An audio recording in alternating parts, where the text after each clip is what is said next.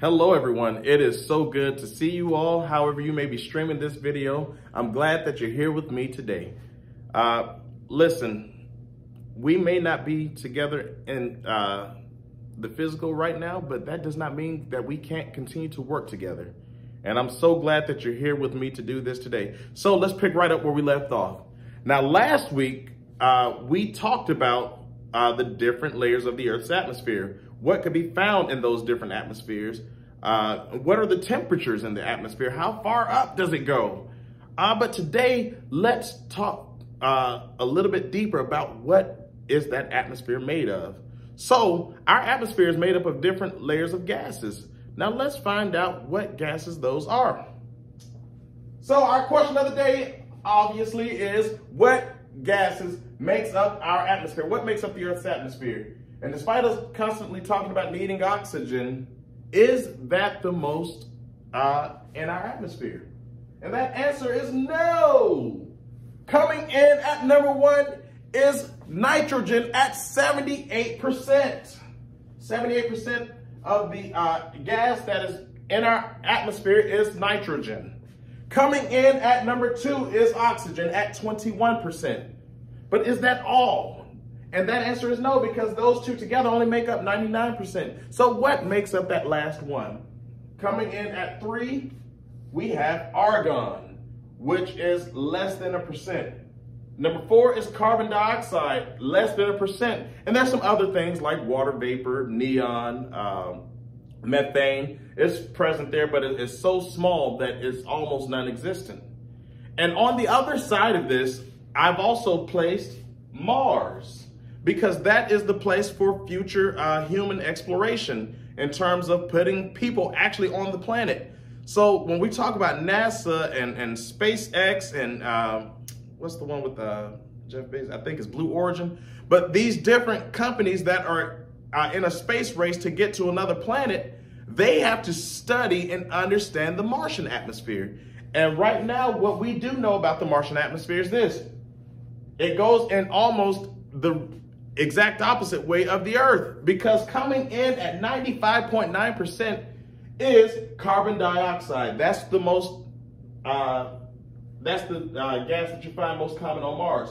Coming in at number two is argon at 2%, nitrogen at 1.9%, and oxygen at less than a percent, and then carbon monoxide at less than a percent. And that carbon monoxide is that colorless, odorless gas that is very poisonous to us. So you never want to be uh, around where that is, especially in an enclosed room. Uh, but today what we're gonna do is talk uh, or create our own gas. What if I told you that we have the ability to blow up a balloon using no technology? Uh, in fact, I did a little small example right here. Never put my lips on it, never put a pump in it to blow it up. And you can do this as well with just a few items that you can find around your house. So let's go over here. I've already preset my things up because it takes quite a bit. But what you need is vinegar, baking soda, a water bottle, and a balloon. So when you do that, make sure your water bottle is empty and you're going to pour the vinegar into the water bottle.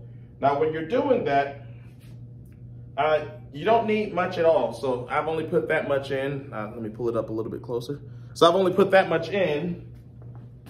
And then this is where parents are going, uh, where any adult that's around whomever may be taking care of you, I need you to help with this. Uh, and I just took a spoon and I filled this balloon, or I put about that much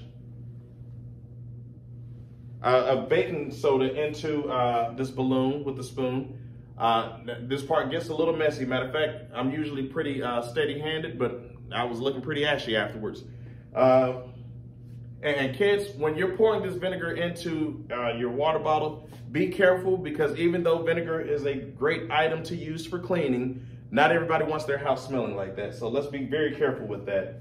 But we're gonna blow this balloon up without ever touching it to our lips, without ever putting a pump in to blow it up or anything of that nature. And so how do we do that?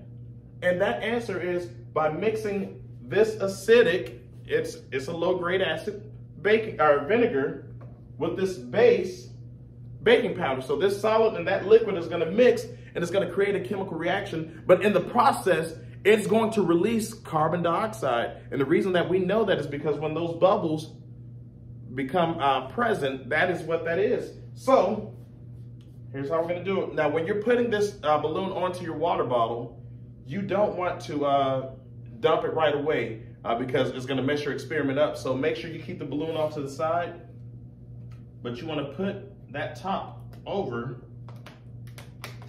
the water bottle. So I stretched it out just enough to get it across. There we go. And then I'm gonna put it back here and I'm gonna watch the magic happen. Now, I don't recommend you trying to uh, capture the air like I did because that can that can lead to disaster. So I'm not gonna do that here. I just want you to see that it is possible for that air to expand that balloon. So here we go. Let's see what we got.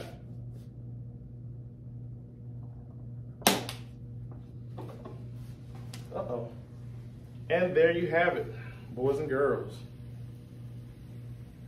It is still going. I put quite a bit in this time to make it a little bit bigger. But as you can see, I blew this balloon up without ever having to put my lips on. Now that the air is going down a little bit, let's see if I can get this off. It, ooh, it's really expanded. This is why I don't recommend doing this at home. Let's just go ahead and leave that on because if I spill that vinegar on me, we're gonna have an issue.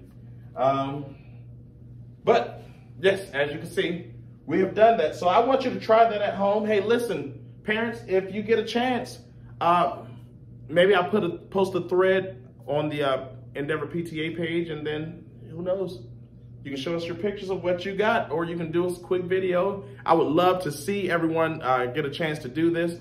Listen, I love you guys. Y'all take care of yourselves. I'll be in my Google Meets throughout the week. Uh, and I, I can't wait to hear from you and just all the exciting things that you've done. Love you guys. Bye-bye.